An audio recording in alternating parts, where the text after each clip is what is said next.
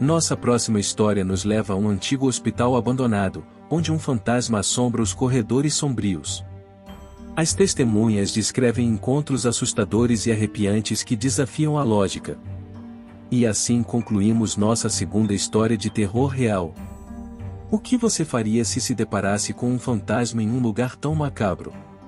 Deixe seu comentário e compartilhe suas próprias experiências de terror.